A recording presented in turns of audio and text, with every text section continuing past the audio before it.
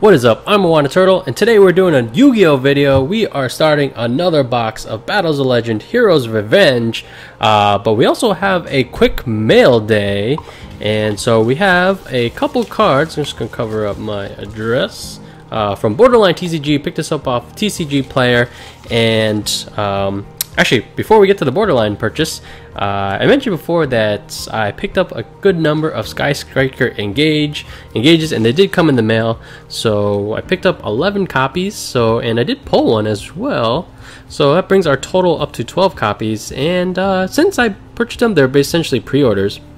The price has gone up a little bit. Uh, so this spec is starting to work out. We'll see. Um, hoping for more significant movement before I would consider kind of like offloading them. And then our other purchase from Borderline TCG this time is actually a pretty cool seller. They included a Dra, Dra Connection. Not familiar with this card, but uh, does look pretty good. And actually, no, that does look quite nice. But the card we did pick up is the. So I'm starting to slowly expand my ultimate rare collection, and I wasn't able to get them out just because they put a lot of tape. Um, I feel like this is excessive amount of tape, but when it's for like protecting the card, it's all good. So we've got two copies of Ancient Gear Golem Ultimate Rare. Starting to slowly expand my collection to Ultimate Rares uh, and Ghosts as well, though I haven't picked up any Ghosts yet. And uh, so, quick mail day, and there's actually more awesome Yu-Gi-Oh cards coming in the mail from Troll and Toad. So stay tuned. Probably when I do this, the rest of this box will be when that rest of that order comes in. So let's get into this third. This is box number three of Battles of Legend Heroes Revenge. Big fan of this set so far. Been enjoying opening it, especially for these, uh, you know, five card per pack sets sometimes they're, or I think I just had a very bad uh, experience with uh, Infinity Chasers. That's that's the name I was searching for that name. Yeah, I really didn't enjoy that set, so it's been a while since you know this one is much better. Having a much better time opening it, and let's get into our first pack. So the one, the card I'm looking for the most right now that I would like to pull would be that Blackluster Soldier. All right, let's see what we get. Uh, we got the battle boss to start.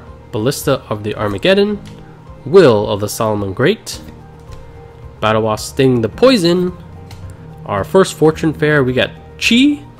And then Fortune Fairy Hikari for our first pull. Still don't know much about these Fortune Fairies. If you're familiar with the archetype, let me know. Is it any good? Is it... Uh, I believe it's new, so maybe it's just starting out, yet to have enough support to make it really viable. So I wonder if it's still kind of laying down the groundwork for something that could be viable in the future. Subterror Guru, pretty good pull. It's cool, it's an ultra rare version of it. And then a Stardust Mirage for our secrets. Hoping for at least one good pull. Let's see, there's still the All Mirage, the Borrelsword Dragon, which is the most expensive card, I still, I believe. Azusa, the Ghost Bow, Battle Wasps. Can't say I'm a big fan of these Battle Wasps. Black Dra Dragon Collapserpent. And then a Vision Fusion for those Vision heroes.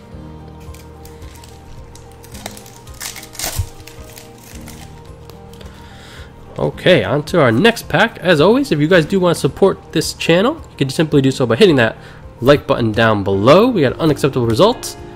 Dangerous Destiny Hero Dangerous a Fortune Fairy Sweet. Oh boy, there we go. Our second Borrelsword Dragon. We are getting super lucky. I've, I've uh, watched a bunch of openings and um, I feel like a lot of people have are not have not been as fortunate to pull this card to a point where some people have said like you know they open a, a whole case and still haven't found a Borrelsword Dragon so people are getting very frustrated so we are getting either that's super unlucky or we are getting super fortunate to have two out of three boxes. Super happy with that. We pulled the the most expensive card in the set as of right now. So this is turning out to be quite an opening. We got a minimum ray. These vision heroes, they look really boring. We have a symbol of friendship. That's super. Ooh, not a not a like big money card, but a very classic um, Yu-Gi-Oh card. Five-headed dragon. So we did get the the big chase card. So this is a very successful opening. Do me a favor, hit that like button down below. Yeah, you know, I, I think I was so up for like the um, Blackluster Soldier. I feel like I'm not giving how great of a pull we just had in getting that. Ooh, Vision Hero Vyon, not bad. Uh, in getting that Borrelsword. I believe that thing's going for like 30 something right now. And so like these boxes only cost like, I, I think if you're, if you pre-ordered it, maybe you could get it for about 60, maybe less. Alright, we have White Dragon Wyverburster. Abs Elemental Hero Absolute Zero. Solomon Great Sanctuary.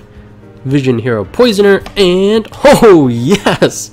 Wait a minute, we we definitely pulled like this exact our box number one was essentially the same thing. We got Sky Striker, Engage, and Borrelsword Dragon. Go back to our first opening. I am oh, like almost 100% certain this is like the same exact box, which is very interesting. what are the chances you get like all the same money pulls? We have a gingerbread house, Shaddoll Hedgehog, Battle Wasp, Battle Dragon, Black Dragon Collapserpent, and then a TG Gear Zombie. Don't know much about the TG uh, archetypes. I believe there was a couple of them in um, Savage Strike, which we opened a ton of packs for. All right, this this this opening is super awesome. We got a Herald of the Arclight, Predablast, Sonic Stun, Gimmick Puppet Chimera Doll, and then a Harpy Conductor. Harpy Conductors. Harpy is supposed to be like part of like the train archetype or something. We still got three packs, and I'm like, I feel like that could be it for the box, and that wouldn't be terrible. if we got nothing else. Fortune Fairy Anne, a Vision Hero Witch Raider, Shaddoll Sumata, Summoning Swarm, and then it Interrupted Kaiju Slumber. Two packs left. So we did uh, manage to, as far as our spec for these Sky Striker Mobilize Engages, we have upped our count to 13 at this point. So Really hoping the price continues to go. Ooh, Traptrix Sera, another pretty good hit, hit right there.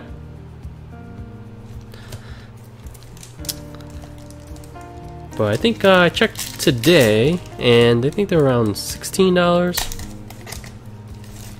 Alright, on to our last pack. We already got insane pulls, but can we get another one? Let's see, we got a Battle Wasp Ballista, the Armageddon, number 26 Space Spaceway Octopass, Octo Bypass, Destiny Hero Dangerous again, Pin the Bullseye, and Elemental Hero Neos Knights. This might be the first time I've seen this. Neos Knights, let's see. Elemental Hero Neos plus a Warrior. Must be fusion summoned, gain attack equal to the original attack of the Warrior. Can make a second attack during each battle phase. Huh, that's interesting. Sounds like a pretty cool card. Alright, so monster opening. we pulled the big chase card, as well as definitely my one of my favorite cards in this set, Sky Striker Mobilize Engage. I have high hopes for that card and how it will perform in the future. Uh, so, if you did enjoy this video, definitely hit that like button down below. And uh, yeah, let me know what you think of this set uh, in this opening, man, gosh. Or like the Ultimate Rares. Uh, if you have a collection of Ultimate Rares that you are working on as well, let me know how it's going and what cards you already have and what you're looking to pick up in the near future. Uh, very interested in what people's thoughts are about uh, what what are the good cards to get as far as that ultimate rare goes. Um, so that's it for this opening, guys. Thanks for watching. Thanks for all the support. I'm Wanda Turtle, and I'll catch you guys next time. Peace.